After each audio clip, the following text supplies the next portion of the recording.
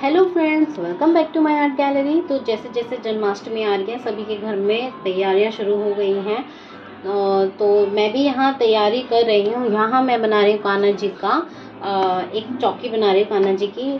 तो आप देख सकते हैं, यहाँ हम वॉल पुट्टी से चौकी बनाएँगे। मतलब अपना मड आर्ट जो है, आज हम वॉल पुट्टी से करेंगे। तो मैंने यहाँ पर वॉल पुट्टी ली है और थोड़ा थोड़ा पानी मिलाकर उसको अच्छे से मिक्स कर रही हूँ। इसमें हमें ज़्यादा पानी नहीं मिलाना है। नहीं तो ये बहुत गाढ़ी हो जाएगी और हाथों में भी चिपकना शुरू हो जाएगी। तो हमें इसे अच्छे से सिर्फ़ एक मॉइस्चर देना है ताकि जो भी ड्राई पाउडर जो भी है वो अच्छे से चिपक जाए इस तरीके से। तो अब हम इसमें हाथों का इस्तेमाल करेंगे क्योंकि हाथों से ये बहुत अच्छे से होगा। आप चाहें तो ग्लव्स भी यूज़ कर सकते हैं। देखिए। इस तरीके से हमें पानी का इस्तेमाल नहीं करना है तो वैसे ही आ, मतलब बनाते बनाते आपकी सारी वॉल पुट्टी अच्छे से चिपक जाएगी। इसको हाथों में लेकर थोड़ा जैसे हम आटे की लोई बनाते हैं उस तरीके से हमें इसको मैश करना है। ये देखिए। आप इसको जितना अच्छे से करेंगी उतना ही स्मूथ होता चला जाएगा। अगर आपको लगता है कि ये बहुत टाइट है या मतलब थोड़ा सा भी हार्ड हो रहा है फट रहा है तो हल्का सा पानी ले सकते हैं। इससे ज़्यादा पानी यूज़ नहीं करना है, वरना ये बहुत ही ज़्यादा गीली हो जाएगी और हाथों में भी चिपकेगी। इससे आप अपना आर्ट कंप्लीट नहीं कर पाओगे। तो ये देखिए डो तैयार हो चुका है।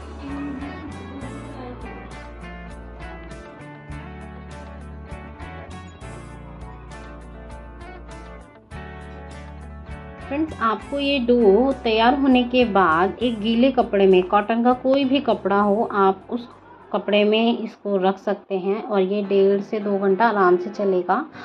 तो अब हमने ले लिया है यहाँ लकड़ी का बोर्ड। इस पर हम सबसे पहले पेंट करना शुरू करेंगे।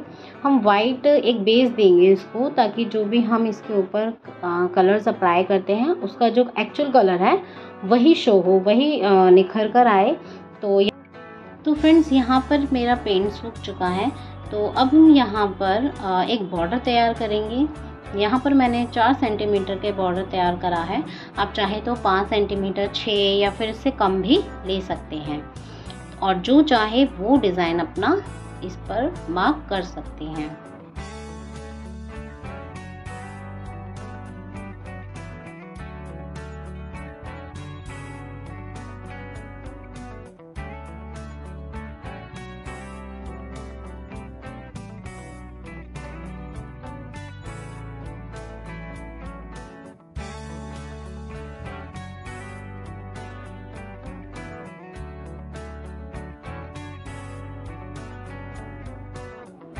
तो फ्रेंड्स हमने बॉर्डर तैयार कर लिया है।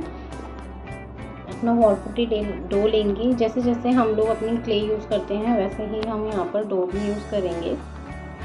आप चाहें, मैंने, आप चाहें तो क्ले भी यूज़ कर सकते हैं। क्ले की तरह ही हमें इस डो को भी यूज़ करना है और डो बनाना कोई मुश्किल काम नहीं है। बहुत इजी तरीका है। देखिए, अच्छे से रोल भी हो रहा है। और फ्रेंड्स यहाँ मैंने कुछ जिग जिग करके अपना डिज़ाइन कंप्लीट किया है। आप चाहे तो फ्लावर्स या कोई भी लीव्स बना सकते हैं। यहाँ मैंने डिज़ाइन बहुत ही सिंपल रखा है।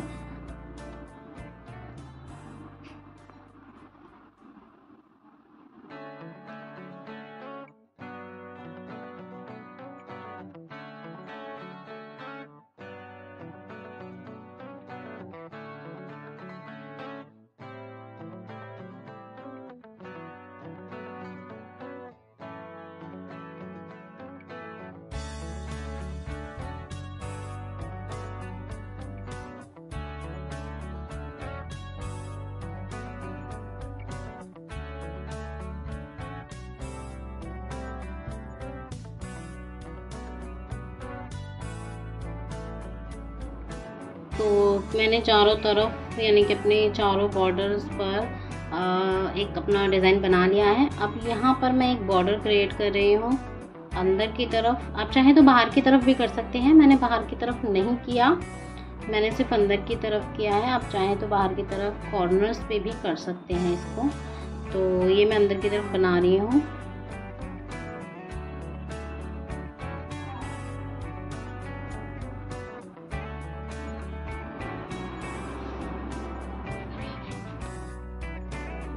तो देखिए मैंने चारों तरफ़ एक बॉर्डर क्रिएट कर लिया है।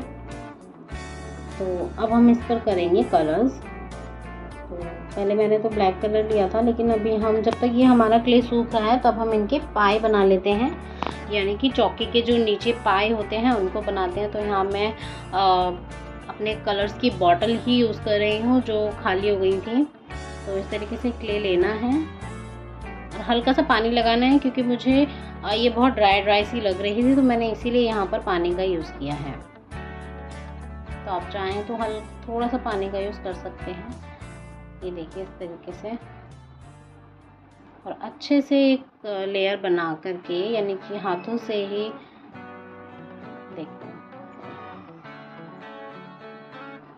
आपको इस पर ग्लू वगैरह लगाने की ज़रूरत नहीं है ये वॉल पुट्टी अपने आप ही ऐसे चिपक जाएगी। और हम इस, तरीके से इसको रोल करेंगे। तो धीरे धीरे वॉल पुट्टी उस पर सेट हो जाएगी। आप चाहें तो सिर्फ़ एक मतलब उंगली हल्की सी अपनी उंगली से ही पानी ले सकते हैं। अगर वॉल पुट्टी आपको ड्राई लग रही है तो यहाँ पर मैंने पानी का ही यूज़ किया है। इसको थोड़ा और स्मूथ करने के लिए हल्का सा पानी लिया है मैंने। ज़्यादा पानी नहीं लेना है, वरना ये जैसे तो ये चारों मैंने कंप्लीट कर लिया है और ये ड्राई भी हो गए हैं। तो अब हम अपना चौकी लेंगे। ये भी ड्राई हो गई है अच्छे से। तो मैंने इसकी बैक साइड पर पहले से ही ब्लैक कलर कर लिया था और अब हम इन पायों को जॉइंट करेंगे।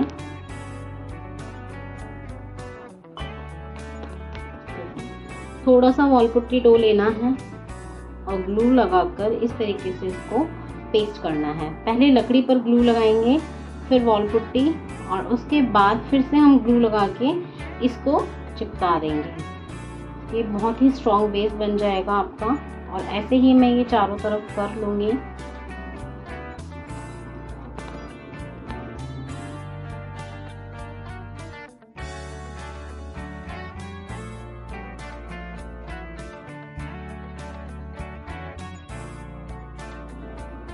अब हमने चारों तरफ़ पाए जोड़ लिए हैं और नीचे कुछ मतलब मग वगैरह रख कर मैंने उसको थोड़ा ऊंचाई पर रखा है ताकि जो हमारे पाए हैं वो अच्छे से जॉइंट रहें। और अब मैं यहाँ पर बारी आ गई है कलरिंग की तो यहाँ मैंने कैमल का ऑरेंज कलर लिया है। आप चाहे तो पिंक ब्लू रेड कुछ भी ले सकते हैं। कलर्स आप अपनी मर्ज़ी से कर सकते हैं। आप चाहें तो ये ऑरेंज कलर भी कर सकते हैं। ये बहुत ही सुंदर लगेगा। तो यहाँ मैंने ये ऑरेंज कलर कर लिया है। अब बारी है ब्लैक कलर की। तो यहाँ मैं इन कॉर्नर्स पे ब्लैक कलर अप्लाई करूँगी। आप चाहें तो ब्लैक कलर को स्किप भी कर सकते हैं। आप अपना मन चाह कोई भी कलर कर सकते हैं।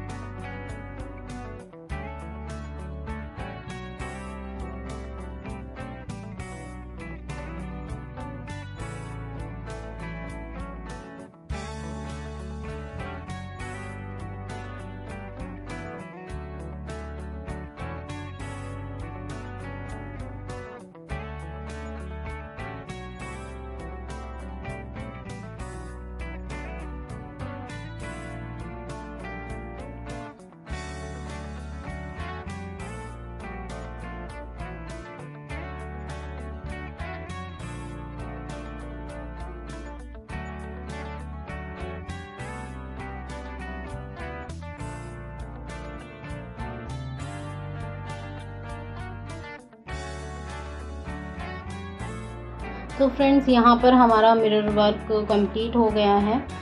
मीन्स मैं अभी यहाँ पर एक्रेलिक कलर ही ले रही हूँ। फेविक क्रिल का एक्रेलिक गोल्डन कलर लिया है और स्पॉन्ज से मैंने इसको आ, मतलब थोड़ा सा हाईलाइट कर लिया है अपने आर्ट को जो भी हमने अपनी क्ले से बनाया था। मैं ये चारों तरफ़ कर लूँगी अच्छे से।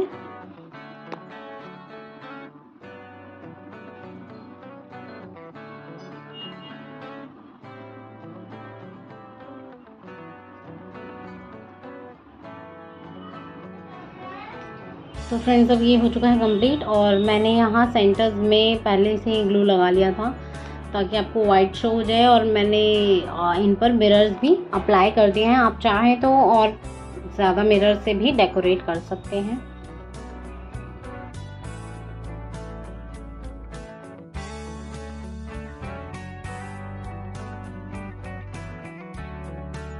तो यहाँ मैंने बॉर्डर क्रिएट करने के लिए, यानी कि शीशों के आसपास बॉर्डर बनाने के लिए या फेविक्रिल के थ्री डी आउटलाइनर्स यूज़ किए हैं तो देखिए।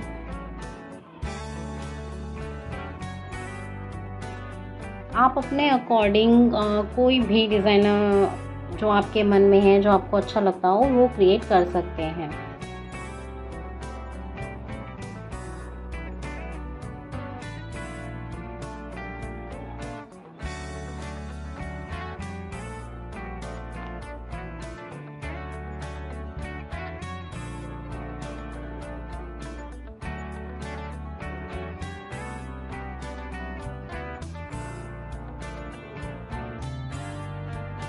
तो यहाँ मैंने चौकी की पायों को भी पेंट कर लिया है ब्लैक कलर से। आप चाहें तो इसे स्किप कर सकते हैं या फिर लेस से कवर कर सकते हैं। अब ये चौकी के जो किनारे थे, इन पर मेरे को एक लेस यूज़ करना था ताकि थोड़ा और शाइन आ जाए। मेरे घर में सिल्वर कलर की सिंपल लेस अवेलेबल थी तो मैंने यही यूज़ करी। आप चाहें तो कोई और भी लेस लगा सकते हैं। तो ये ग्लू गन की हेल्प से मैंने चारों तरफ़ इस लेस को लगा लिया है। आप देख सकते हैं इस तरीके से। तो ये हो चुकी है हमारी चौकी कंप्लीट। फ्रेंड्स, अगर आपको मेरी ये वीडियो अच्छी लगी हो तो सब्सक्राइब करना ना भूलें और शेयर अपनी फैमिली फ्रेंड्स के साथ भी शेयर कीजिए। और ऐसे ही मैं आपके लिए और भी आर्ट लेकर आती रहूँगी। तो ये जन्माष्टमी की तैयारी हमारी चल रही है और भी वीडियोस आपको देखने की मिल सकती है। तो चैनल को सब्सक्राइब करना ना भूलें ताकि आपको इसकी नोटिफिकेशन पहले ही मिल जाए। राधे राधे बाय